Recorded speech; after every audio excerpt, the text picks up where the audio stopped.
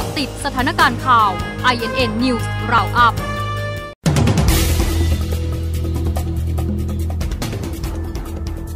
11นาฬิกา7นาที เลขาสมชคาดสัปดาห์หน้าตัวเลขผู้ติดเชื้อสูงขึ้นอีก ขณะยังไม่เพิ่มมาตรการนายกรัฐมนตรีห่วงประชาชนเดือดร้อนขอความร่วมมือปฏิบัติตามมาตรการของรัฐ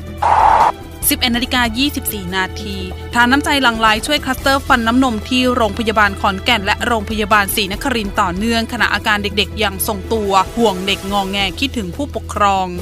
11นาฬิกา30 นาทีสุชาติตันเจริญรองประธานสภานัดประชุม 4 ฝ่าย 6 กรกฎาคมนี้ทบทวนเดินหน้าประชุมต่อหรือไม่ขณะสวนัดประชุม 5 กรกฎาคมนี้เร่งถกกฎหมายต่อจากสส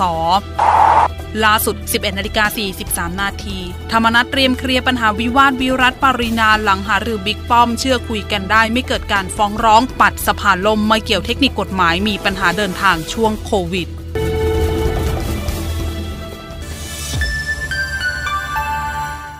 เกาะติดสถานการณ์ข่าว INN News Roundup